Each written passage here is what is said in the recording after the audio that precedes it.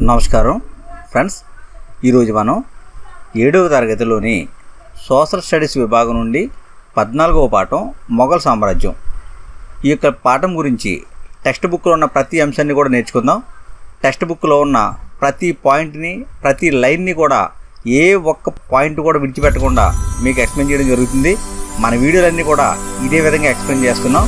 ఈ వీడియోలు నచ్చితే లైక్ చేయండి షేర్ చేయండి సబ్స్క్రైబ్ చేసుకోండి. ఫ్రెండ్స్ మీరు చూస్తున్నారు kings DSC YouTube channel Mughal సామ్రాజ్యం. ఈ మొఘల్ సామ్రాజ్యంలో ముఖ్యమైన చక్రవర్తులు.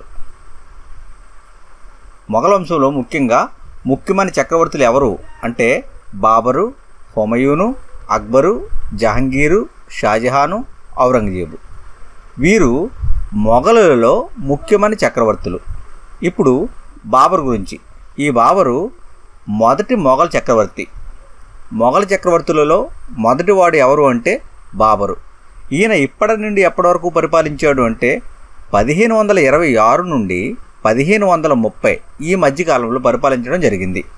ఈయన యొక్క విజయాలు చూస్తే పదిహేను వందల నాలుగులో కాబూల్ వశపరుచుకున్నాడు. బాబరు పదిహేను వందల నాలుగో సంవత్సరంలో కాబూల్ని వశపరుచుకోవడం జరిగింది. అంతేకాకుండా పదిహేను వందల ఇరవై ఆరులో ఇబ్రహీం లోడిని ఓడించి ఢిల్లీ ఆగ్రాలను వశపరుచుకున్నాడు.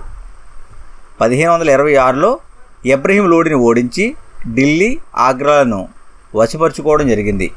ఇదే మొదటి పానిపట్ యుద్ధం అని కూడా పేర్కొంటున్నారు.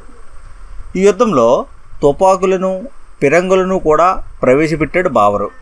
యుద్ధంలో తుపాకులు పిరంగులు వీటిని ప్రవేశపెట్టడం జరిగింది. ఇలా భారతదేశంలో మొఘల్ రాజ్య స్థాపన చేసిన ఘనత బాబర్కు దక్కింది. తరువాత హుమయూను. ఈయన పదిహేను వందల ముప్పై నుండి పదిహేను వందల యాభై ఆరు ఈ మధ్యకాలంలో పరిపాలించినట్లు పేర్కోవడం జరుగుతుంది. ఇందులో ఈ హుమయూన్ షేర్ఖాన్ చేతిలో ఓడిపోవడం జరిగింది. ఈ షేర్ఖాన్ ఏం చేశాడంటే హుమయూన్ ఓడించిన తర్వాత ఇరాన్కి తరిమివేయడం జరిగింది. హుమయూన్ను షేర్ఖాన్ ఇరాన్కి తరిమివేశాడు తరివేసిన తర్వాత ఇరాన్లోని సఫావిద్ షా సహాయం పొందాడు హుమయూను. ఇరాన్ దేశంలో సఫావిద్ షా సహాయాన్ని పొందడం జరిగింది. తర్వాత పదిహేను వందల యాభై ఐదులో ఈ హుమయూన్ మరలా వచ్చి ఢిల్లీని ఆక్రమించుకున్నాడు. పదిహేను వందల యాభై ఐదులో ఢిల్లీని ఆక్రమించుకుని యాభై ఆరులో ప్రమాదంలో మరణించడం జరిగింది. తర్వాత అక్బర్. ఈ అక్బరు యొక్క పరిపాలనా కాలం ఎప్పటి నుండి అంటే పదిహేను వందల యాభై ఆరు నుండి పదహారు వందల ఐదు ఈ సంవత్సరాల మధ్య. అక్బర్ పరిపాలనా కాలము పదిహేను వందల యాభై ఆరు పదహారు వందల ఐదు. ఈ సంవత్సరాల మధ్య పరిపాలించడం జరిగింది. చక్రవర్తి అయ్యే నాటికి అక్బర్ యొక్క వయసు ఎంత అంటే పదమూడు సంవత్సరాలు. చక్రవర్తి అయ్యే నాటికి అక్బర్ యొక్క వయసు పదమూడు సంవత్సరాలు. ఈ అక్బరు చక్రవర్తి అయిన తర్వాత అతి కొద్ది కాలంలోనే ఆక్రమించుకున్న ప్రాంతాలు బెంగాల్ మధ్య భారతదేశము రాజస్థాన్ గుజరాత్ ఆఫ్ఘనిస్తాన్ దక్కన్ పీఠభూమి కాశ్మీరు. ఈ ప్రాంతాలని అతి కొద్ది కాలంలోనే ఆక్రమించుకోవడం జరిగింది. తర్వాత ఈ అక్బర్ ప్రవేశపెట్టిన విధానాలలో అతి ముఖ్యమైనది జప్త్ ఈ జప్త్ అంటే ఏంటి అంటే రెవెన్యూ విధానం. జప్త్ అనేది రెవెన్యూ విధానము. మొఘలుల కాలంలో ప్రధానమైన ఆదాయ వనరు ఏంటి అంటే వ్యవసాయ ఉత్పత్తులపై వేసే పన్ను. ఇక్కడ రాజా తోడర్మల్ ఈయన పదిహేను వందల డెబ్బై పదిహేను వందల ఎనభై ఈ మధ్యకాలంలో అక్బర్ యొక్క ఆర్థిక మంత్రిగా కొనసాగాడు. రాజా తోడర్మల్లు అక్బర్ యొక్క ఆర్థిక మంత్రి. ఈయన ఏం చేశాడు అంటే భూమిని సర్వే చేయించి పండిన పంటను బట్టి శిస్తు నిర్ణయించడం జరిగింది. ప్రతి ప్రాంతము కూడా రెవెన్యూ బ్లాకులుగా విభజించడం జరిగింది. ప్రతి ప్రాంతాన్ని రెవెన్యూ బ్లాకులుగా విభజించాడు. శిస్తు నిర్ణయం విధానమే జప్త్ అంటే ఇలా భూమిని సర్వే చేసి పండిన పంటను బట్టి శిస్తు నిర్ణయించే విధానాన్నే జప్త్ అంటారు. జప్తు విధానము ఏ ప్రాంతాలలో సాధ్యపడలేదు అంటే గుజరాత్లోను బెంగాల్లోనూ సాధ్యపడలేదు. తర్వాత అక్బర్ యొక్క విధానాలు. ఈ విధానాలు చూస్తే అబుల్ ఫజల్ ఈయన అక్బర్ యొక్క మిత్రుడు ఆస్థాన సభ్యుడు. అబుల్ ఫజల్ అనే ఆయన అక్బర్ యొక్క మిత్రుడు మరియు ఆస్థాన సభ్యుడు. అబుల్ ఫజల్ అక్బర్ నామా అనే పుస్తకాన్ని రాయడం జరిగింది. అబుల్ ఫజల్ అక్బర్ నామా అనే పుస్తకాన్ని రచించాడు సుల్హ్ ఈ కుల్ అనే భావన. అంటే ప్రపంచ శాంతి అని అర్థం. సుల్హ్ ఈ కుల్ అనే భావన అంటే అర్థం ఏంటి అంటే ప్రపంచ శాంతి. ఈ యొక్క భావన అక్బర్ మనసును మెదిలింది. ఈ పద్ధతిలో రాజ్య పరిపాలన చేపట్టాడు అక్బరు. అక్బర్కి సుల్హ్ ఈ కుల్ అనే భావనను తన రాజ్య పరిపాలనలో అమలు చేయడానికి అక్బర్కి ఎవరు సహాయం చేశారు అంటే అబుల్ ఫజల్ సహాయం చేయడం జరిగింది. ఈ సిద్ధాంతాలు అనుసరించి పాలించింది ఎవరు? ఈ అక్బర్ ప్రవేశపెట్టిన సుల్హ్ ఈ కుల్ అనే భావన ఈ సిద్ధాంతాలను అనుసరించి ఎవరు పరిపాలించారు? మొఘలులో అంటే జహాంగీరు షాజహాన్ పరిపాలించడం జరిగింది. జహాంగీరు సుల్హ్ ఈ కుల్ భావన గురించి ఎలా పేర్కొన్నాడు? ఏమని? ఈ విశాల దైవ కరుణలో అందరికీ చోటు ఉంది. ఈ రాజ్యంలో అన్ని దిశలలో పరిమితి ఉంది అని పేర్కొన్నాడు. జహాంగీరు అక్బర్ ప్రవేశపెట్టిన సుల్హ్ ఈ కుల్ భావన గురించి ఎలా పేర్కోవడం జరిగింది? ఏమని అంటే ఈ విశాల దైవకరుణలో అందరికీ చోటు ఉంది ఈ రాజ్యంలో అన్ని దిశలలో పరిమితి ఉంది చుట్టూ సముద్రం తప్ప వేరే లేదు. మత వివక్షతకు దారే లేదు అని పేర్కోవడం జరిగింది. అంతేకాకుండా సున్నీలు షియాలు ప్రార్థనల కోసం మసీదులో కలిస్తే క్రైస్తవులు యూదులు చర్చిలో కలుస్తారు. సున్నీలు షియాలు ప్రార్థనల కోసం మసీదులో కలిస్తే క్రైస్తవులు యూదులు చర్చిలో కలుస్తారు. అక్బరు ప్రపంచ శాంతి విధానాలు అవలంబించాడు అని ఎవరు చెప్పారు అంటే జహాంగీర్ పేర్కోవడం జరిగింది. తర్వాత ఈ జహాంగీర్తో పాటు షాజహాను కూడా తన పరిపాలనలో సుల్హ్ ఈ కుల్ అనే విధానాన్ని అంటే అక్బర్ ప్రవేశపెట్టిన సుల్హ్ ఈ కుల్ అనే విధానాన్ని పరిపాలనలో అవలంబించినట్లు మనం గ్రహించవచ్చు. తర్వాత ఈ పద్ధతి నుండి బయటదొలిగింది ఎవరు? అంటే మొఘలులలో జహంగీరు షాజహాను అక్బర్ ప్రవేశపెట్టిన ఈ సుల్హ్ ఈ కుల్ పద్ధతిని అనుసరిస్తే ఈ పద్ధతి నుండి వైదొలగింది మాత్రం ఔరంగజేబు. ఈయన సున్నీ ముస్లిం వర్గాన్ని అభిమానించాడు. సున్నీ ముస్లిం వర్గాన్ని అభిమానించడం జరిగింది ఔరంగజేబు. ఫతేపూర్ సిక్రీ. ఇక్కడ ఈ ఫతేపూర్ సిక్రీ అనే ప్రాంతము ఆగ్రాకు దగ్గరలో ఉంది. ఆగ్రాకు దగ్గరలో ఉంది. ఇక్కడ ఇబాదత్ ఖానా అనే ప్రార్థనా మందిరాన్ని అక్బర్ కట్టించడం జరిగింది. పదిహేను వందల డెబ్బైలో మతం పట్ల చర్చ జరపడానికి పదిహేను వందల డెబ్బైలో మతం పట్ల చర్చ జరపడానికి ఎవరిని ఆహ్వానించాడు అంటే ముస్లింలను బ్రాహ్మణులను రోమన్ క్యాథలిక్లను జొరాస్ట్రియన్లను. ముస్లింలు బ్రాహ్మణులు రోమన్ క్యాథలిక్లు జొరాస్ట్రియన్లు. వీరందరినీ కూడా ఇబాదత్ ఖానాకు ఆహ్వానించి పదిహేను వందల డెబ్బైలో మతం పట్ల చర్చ జరపడానికి ఆహ్వానించడం జరిగింది. ఎవరు అంటే అక్బరు. ఎక్కడ నిర్మించాడు అంటే ఫతేపూర్ సిక్రీలో. ఈ ఫతేపూర్ సిక్రీ ఏ ప్రాంతానికి దగ్గరలో ఉంది అంటే ఇక్కడ ఆగ్రాకు దగ్గరలో ఉన్న ప్రాంతమే ఫతేపూర్ సిక్రీ. ఇక్కడ అక్బర్ నిర్మించిన ప్రార్థనా మందిరం పేరు ఇబాదత్ ఖానా. తర్వాత అక్బర్ తర్వాత జహాంగీర్. ఈ జహాంగీర్ చూసినట్లయితే ఈయన పదహారు వందల ఐదు నుండి పదహారు వందల ఇరవై ఏడు ఈ మధ్యకాలాన్ని పరిపాలించడం జరిగింది. జహంగీరు పదహారు వందల ఐదు నుండి పదహారు వందల ఇరవై ఏడు మధ్యకాలాన్ని పరిపాలించడం జరిగింది. ఈ జహంగీర్ తల్లి అంబర్ రాకుమార్తె. ఈ అంబర్ అనేది ప్రస్తుత జైపూర్. అంబర్ రాకుమార్తె జహంగీర్ తల్లి. జహంగీర్ తల్లి అంబర్ రాకుమార్తె. ఈమె రాజపుత్ర కుమార్తె. తర్వాత షాజహాన్. ఈయన పదహారు వందల ఇరవై ఏడు పదహారు వందల యాభై ఎనిమిది ఈ మధ్యకాలంలో పరిపాలన చేశాడు. దక్కన్ ప్రాంతంలో మొఘల్ రాజ్య విస్తరణ చేపట్టాడు. షాజహాను దక్కన్ ప్రాంతంలో మొఘల్ రాజ్య విస్తరణ చేపట్టడం జరిగింది. పదహారు వందల యాభై ఏడు యాభై ఎనిమిది ఈ మధ్య సింహాసనం కోసం తీవ్రమైన సంఘర్షణలు జరిగాయి. షాజహాన్ యొక్క కుటుంబంలో ఈ షాజహాన్ కుమారులకు పదహారు వందల యాభై ఏడు యాభై ఎనిమిది ఈ మధ్యకాలంలో సింహాసనం కోసం తీవ్రమైన సంఘర్షణలు జరిగాయి. ఎవరి మధ్య అంటే తన కుమారుల మధ్య. ఇందులో ఔరంగజేబు తన సోదరులు ముగ్గురిని ఓడించి చంపివేశాడు. షాజహాన్ కుమారుడైన ఔరంగజేబు తన సోదరుల ముగ్గురిని కూడా ఓడించి చంపివేయడం జరిగింది. తండ్రిని అయితే బంధించి ఎక్కడ? ఆగ్రా జైలులో. ఈ శేష జీవితాన్ని షాజహాన్ ఆగ్రా జైలులోనే గడిపాడు. తల్లి. షాజహాన్ తల్లి జోధ్పూర్ యువరాణి. షాజహాన్ తల్లి జోధ్పూర్ యువరాణి. అదే జహాంగీర్ తల్లి అయితే అంబర్ రాకుమార్తె అంబర్ అంటే జైపూర్. షాజహాన్ తల్లి అయితే జోధ్పూర్ యువరాణి. ఈమె కూడా రాజపుత్ర యువరాణి రాజపుత్ర యువరాణి. తర్వాత మున్సబ్దారులు మొత్తం మున్సబ్దారులు షాజహాన్ కొలువులో ఎనిమిది వేల మంది మున్సబ్దారులు ఉండేవారు.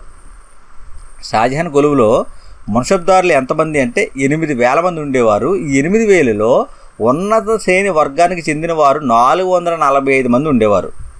నాలుగు వందల నలభై ఐదు మంది. ఉన్నత శ్రేణి వర్గానికి చెందినవారు ఉండేవారు. వీరు మొత్తంలో ఐదు పాయింట్ ఆరు పర్సెంట్గా ఉన్నారు. ఐదు పాయింట్ ఆరు పర్సెంటేజ్గా ఉన్నత శ్రేణి వర్గం వారు ఉన్నారు.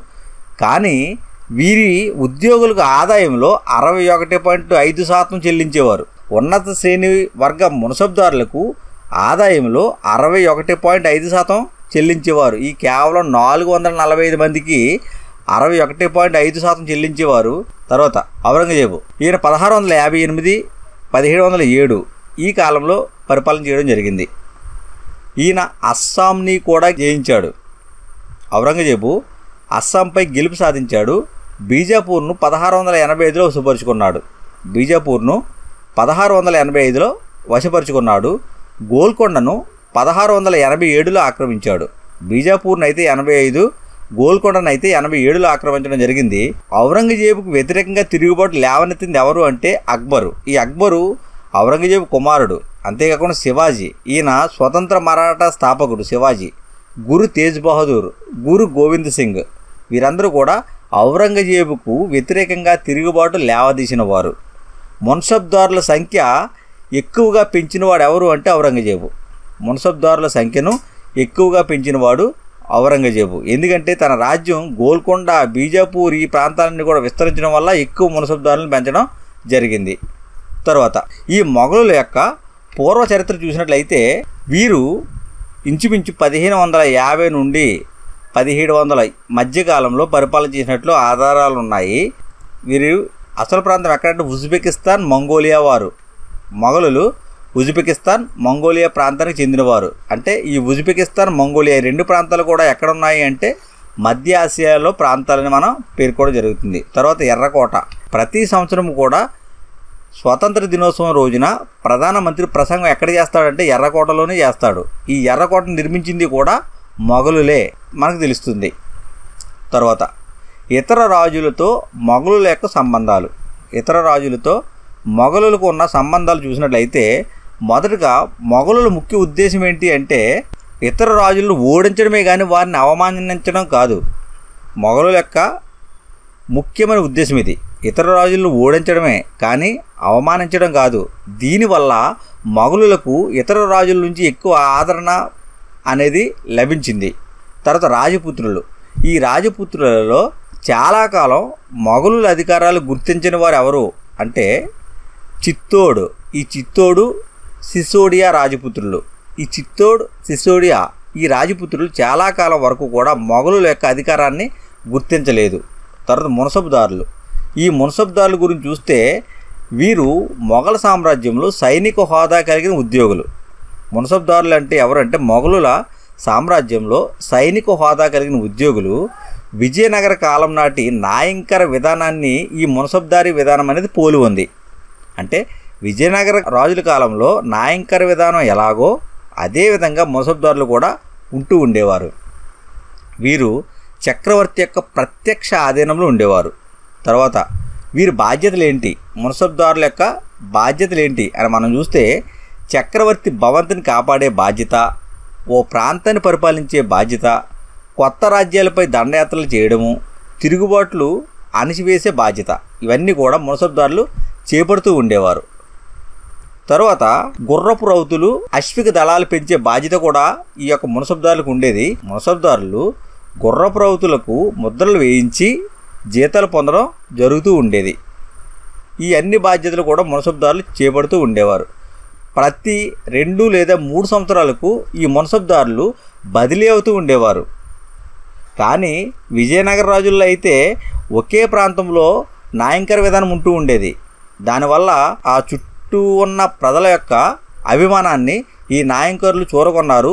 రాజును కూడా ధిక్కరించి వీరు స్వతంత్రంగా పాలకులుగా కూడా ఎదిగిన పరిస్థితి విజయనగర సామ్రాజ్యంలో ఉంది. కానీ ఇలా మార్చివేయడం వల్ల రెండు లేదా మూడు సంవత్సరాలకు బదిలీ చేయడం వల్ల ఈ యొక్క మునసబ్దారులకు కేవలం రాజుకు పనివారుగా మాత్రమే పనిచేసేవారు. తర్వాత ఈ మునసబ్దారీ విధానం అనేది వంశపారంపర్యం మాత్రం కాదు.